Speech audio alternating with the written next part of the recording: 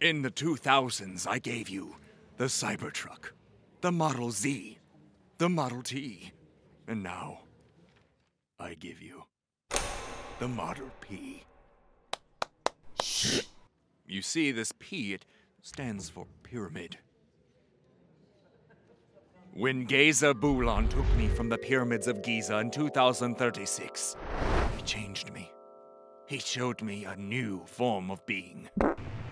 You are all down here on Earth killing one another over pointless human vanities like economic status, power ranking, and your greedy material toys. Gazer Bulan helped me transcend from all the noise. I have seen the endless multiverses, and I want you, all of you, to experience it with me. Forever. Transcend time. Become one.